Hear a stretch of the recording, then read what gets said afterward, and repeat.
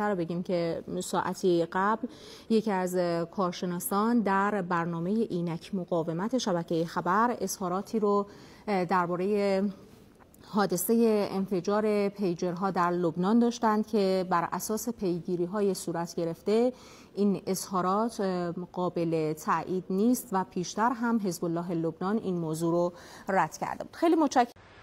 در مقطع بعد از بهمن ما صحبت شد که آقا باید ما دوباره بریم سراغ پیجر.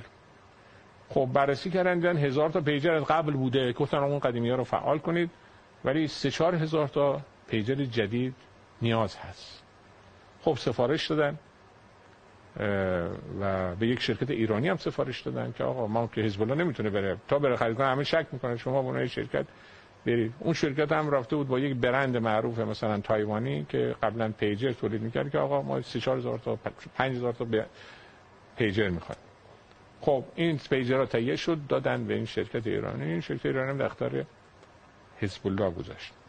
اینجا یه اشکالی پیش اومد که آقا اینا باید چک می‌شد در نظر حفاظتی. حالا هیچ کس به ذهنش نمی‌رسید که پیجر تبدیل به یک بمب بشه.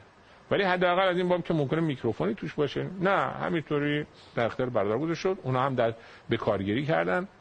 حالا خوشبختانه از اون 5000 تا 2000 تاش هنوز توضیح نشده بود. 3000 تاش توضیح شده بود و بعد ما دیدیم در یک لحظه اینا همه منفجر شدن.